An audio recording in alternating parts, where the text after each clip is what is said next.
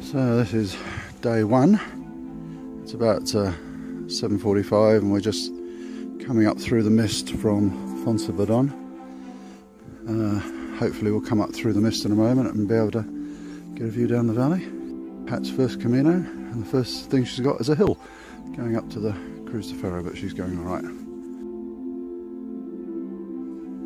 So we're almost at the Cruz de Ferro. The sun's coming up over the clouds.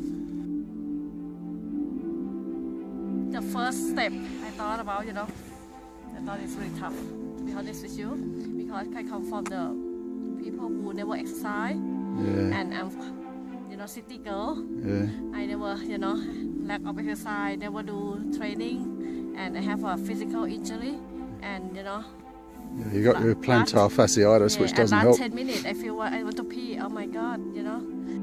So almost at the Cruz de Ferro, and I don't know whether you can see that with the contrails of the jets, but that's a little bit symbolic, isn't it?